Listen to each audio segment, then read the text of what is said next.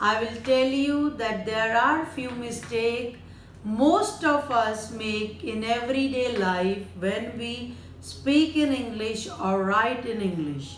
So try to avoid these mistakes. The first one is making somebody aware about something. Some people use he awared me about something. This is wrong. We should use he made me aware of this situation. He made me aware of something.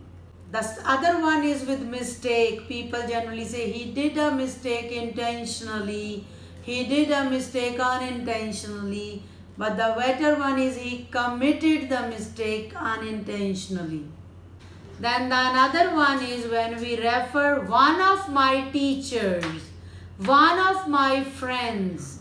We have to use plural in that. We can't say one of my teacher, one of my friend. When we refer to one of them, we say one of my friends. Then the uses of admission and admitted. Generally we say he got admitted in hospital, he has got admission or he took admission in the college. But the right one is he got admitted to the hospital, he has taken admission to the college. I hope this video will help you. For more videos like this, do subscribe our channel.